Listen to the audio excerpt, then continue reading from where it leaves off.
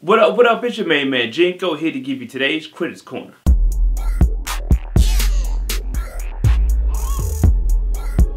Today's Critics Corner is featuring the movie Gringo starring David Oyelowo, Charlize Theron, and Joel Edgerton. Gringo's here to show you that even in Mexico, they're trying to hold a black man down. But this ain't the man. This is the hombre. And let me tell you why. Gringo's directed by Nash Edgerton. It's Joel Edgerton's older brother. The basic premise is this. David Oyelowo plays Harold. He's a businessman that's not in a good place in his life right now, or anyone else's life, because his life sucks.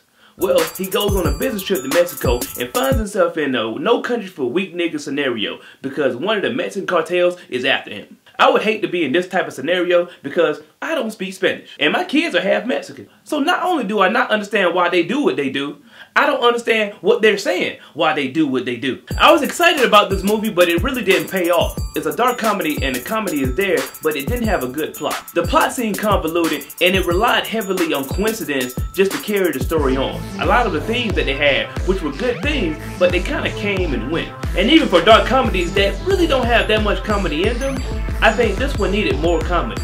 You understand what he's going through and feel bad for him, but overall, a lot of decisions are made by other characters or even him that you go, you know, I don't know why you're doing these things. This movie had a lot of dry moments and the plot just really wasn't there. From the acting point, I think it was done well. I just think they needed to sit down with the script a little bit longer, figure some more things out, and then add more comedy. Because the comedy was there, but it was like sparingly. It was like, ha ha!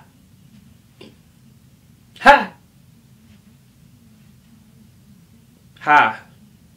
So what you guys think about Gringo? What was your favorite part? Subscribe and comment below and I love to hear from you and get back to you. And like always, if you like this video, click that like button. Alright y'all, that's it for today's Critics Corner. I'm your main man Jinko. Peace up, A-Town down south, cat to the side and here's looking at you.